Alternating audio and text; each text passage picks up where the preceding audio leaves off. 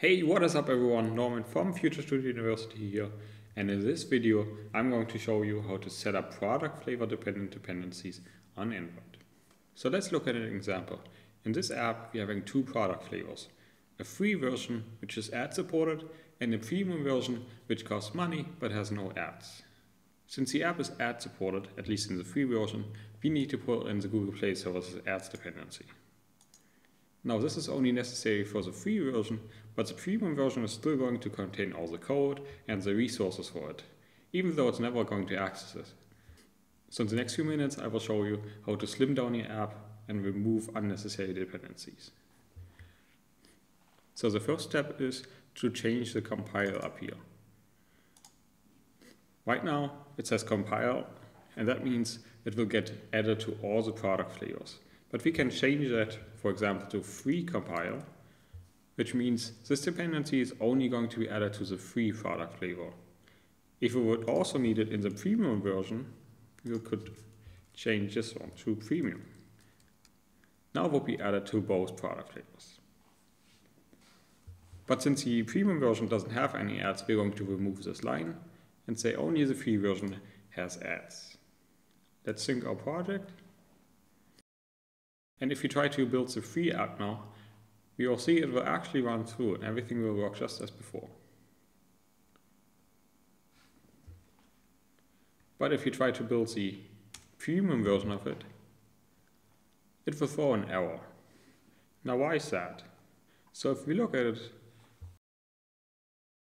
in our ad display class, we are referencing the ad view. If you're in our premium build variant, we won't have a reference to the class since we removed the dependency. So the next step we have to do is split up the code of this ad display class between the free version and the premium version. So what you have to do is you select the class, you copy and paste, and change down here the selection to premium. If Android Studio doesn't offer you the selection, you have to create it manually in Finder. So let's select Premium. Click OK.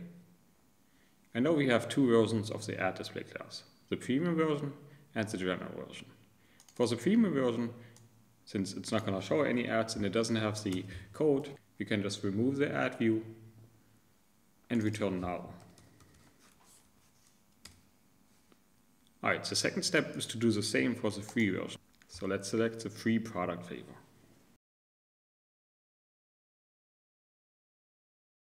And we're going to do the same. Copy and paste the ad display class, but this time copy to free.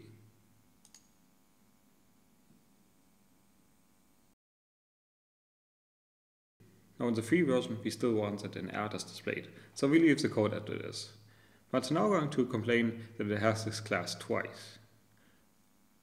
It has it in the free version and in the general version. So the last step is to remove the general version. What we have achieved now is that in the free product flavor, it's going to pull in the free ad display class. That means it's going to return an actual ad view. In the premium product flavor, it's going to return a null value, as we have seen in the premium version of it. So if we test if everything builds now,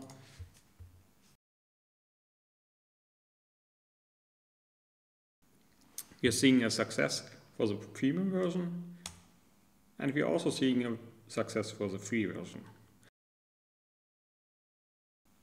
So both apps build now, but the premium version doesn't have the ad support anymore and it doesn't have the code and doesn't have the resources, so it's effectively a smaller and slimmer app.